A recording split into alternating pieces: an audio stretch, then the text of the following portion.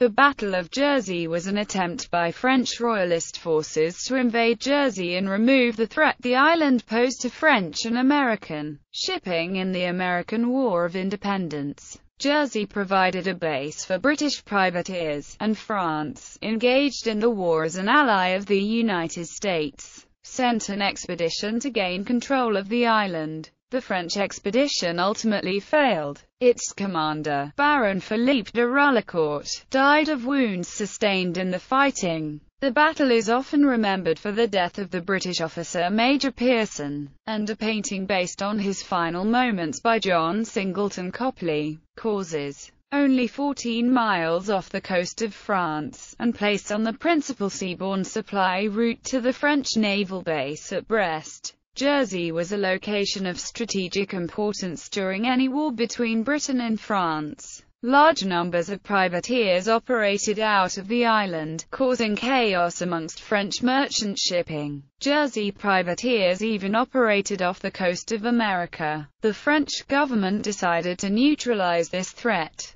Furthermore, at the time, Gibraltar was in the midst of the Great Siege. Contemporary British newspapers reported that the attack on Jersey was an attempt to distract British attention from Gibraltar and divert military resources away from the siege. Defences in Jersey Aware of the military importance of Jersey, the British government had ordered that the island be heavily fortified. Gun batteries, forts and redoubts had been constructed around the coast, and round towers were in the process of being erected as well. The Royal Militia of the island of Jersey comprised some 3,000 men in five regiments, including artillery and dragoons regular army units, the entire 95th Regiment of Foot, five companies each of the 83rd Regiment of Foot and 78th Highlanders and around 700 invalids were also present. The total force amounted to about 9,250 troops of all types. A naval force, the Jersey Squadron, was also based in the island, but was on a cruise against the Dutch at the time of the invasion.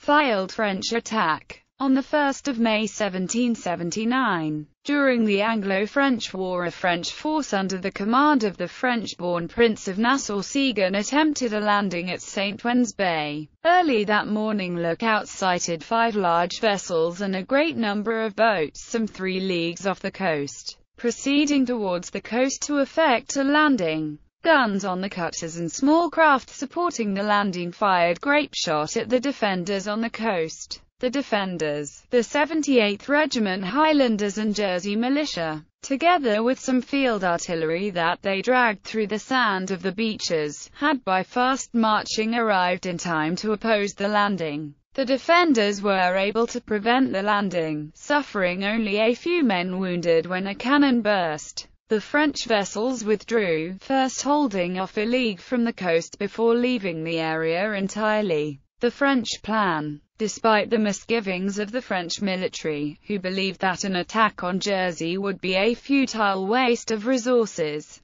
With any success being short-lived, the government approved a plan put forward by Baron Philippe de Rullecourt, who had accompanied the Prince of Nassau-Siegen in 1779. De Rullecourt was an adventurer and a colonel in the French army. King Louis XVI had promised de Rullecourt the rank of general and the Cordon Rouge as soon as he had control of the town of St. Helier, the island's capital. The second commander was an Indian prince, named Prince Emir, who had been taken by England in wars in India had been sent to France with other French prisoners and whom the French had since retained in their service. A member of the British force wrote of him, he looked quite barbarian, as much as his discourse, if our fate has depended on him, it would not have been of the most pleasant. He advised the French general to ransack everything and to put the town to fire and to blood. Officially the expedition was a private affair. However, funding, equipment, transport and troops were provided by the French government. In order to conceal their involvement, the government went so far as to order the desertion of several hundred regular troops to de Rullecourt's forces. On 5 January 1781 the expedition set out from Granville consisting of some 2,000 soldiers in four divisions. There was a storm which scattered some ships and only 1,200 initially made it to Jersey. Jersey still celebrated the 6th of January as Old Christmas Night, and the French landed undetected. The 800 men of the 1st Division landed at La Roque, Grouville, and passed close by the guards without being noticed. A French officer even said that he had slept beneath the guards, but that the guards had not heard the French. The guards were subsequently put on trial, where it was found they had abandoned their post to go drinking. The French 1st Division stayed there most of the night. The 400 men of the French 2nd Division landed amongst rocks and was entirely lost.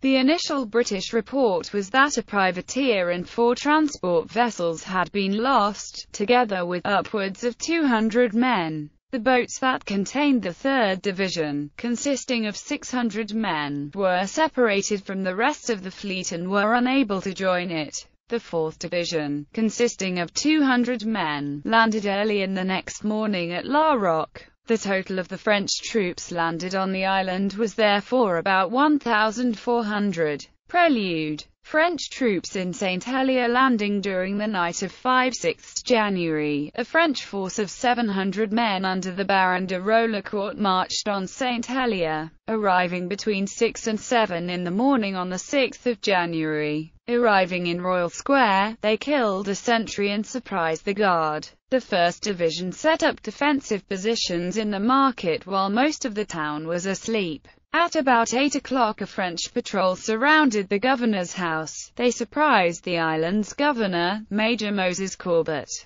in bed in Government House, then situated at Le Manoir de la Motte. Corbett was taken to the royal courthouse in the royal square where de Rullecourt convinced Corbett that thousands of French troops had already overwhelmed Jersey and threatened to burn the town and slaughter the inhabitants if Corbett did not sign a capitulation. In addition he was to order the commander at Elizabeth Castle to surrender. Corbett replied that as he was a prisoner he had no authority and that anything he signed would be of no avail. De Rullecourt insisted and so Corbett, to avoid further harm to St. Helier, signed. The commander at Elizabeth Castle, Captain Mulcaster CRE, had already refused a verbal request to surrender. The French then advanced towards the castle where the troops in the castle then peremptorily fired on the French troops, killing two or three men. The French then withdrew. Captain Aylward of the Invalides then arrived at the castle and being senior assumed command. The written order to surrender to the French was delivered and the castle defenders again refused by opening fire on the French.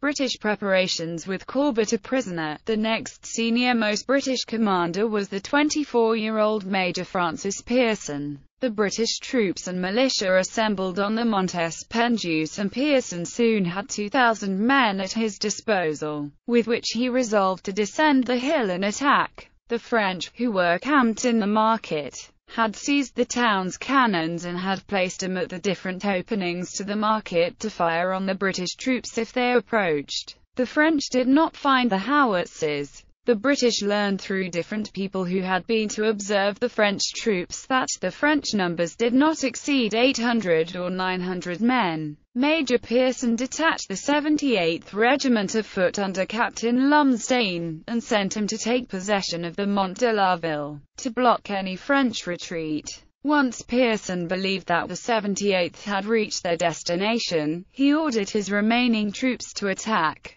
The British were stopped at the plain, where de Rullecourt sent Corbett to offer capitulation terms and to tell the British that if they did not sign, the French would ransack the town within half an hour. Pearson and Captain Campbell answered that the French had 20 minutes to surrender. The 83rd Regiment of Foot and the part of the East Regiment in Grouville also refused to surrender. When de Rullecourt received their answer he was heard to remark, since they do not want to surrender, I have come to die. Battle. The attack began. The British forces in the Grande Rue included the 78th Regiment, the Battalion of St. Lawrence, the Southeast Regiment and the Compagnies de St. John. The 95th Regiment of Foot, with the rest of the militia, advanced down the other avenues. The British had too many troops for the battle. A British soldier later saying that a third of the British troops would have been more than enough to destroy the French army. Many British soldiers, confused and having nothing to shoot at, fired most of their shots into the air. The French resistance was of short duration, most of the action lasting a quarter of an hour. The French only fired the cannons that they had at their disposal once or twice. The British had a howitzer placed directly opposite the market in the Grande Rue, which at each shot, cleaned all the surroundings of French, according to a member of the British service. Major Pearson and the 95th Regiment advanced towards the Avenue du Marché.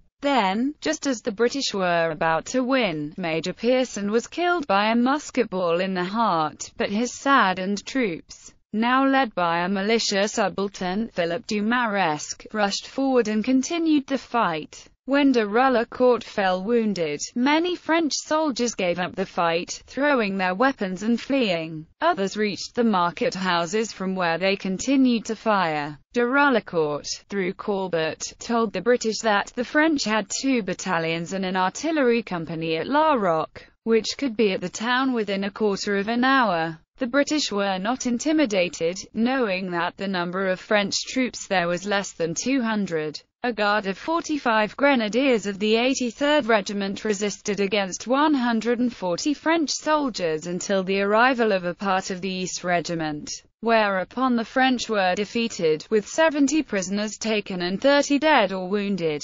The remaining French soldiers dispersed themselves throughout the countryside to reach their boats, with several were caught while trying to do so. Conclusion The British took 600 prisoners whom they subsequently sent to England. The British losses were 11 dead and 36 wounded among the regular troops, and 4 dead and 29 wounded among the militia. In addition, Captain Charlton, of the Royal Artillery, was wounded while a prisoner of the French.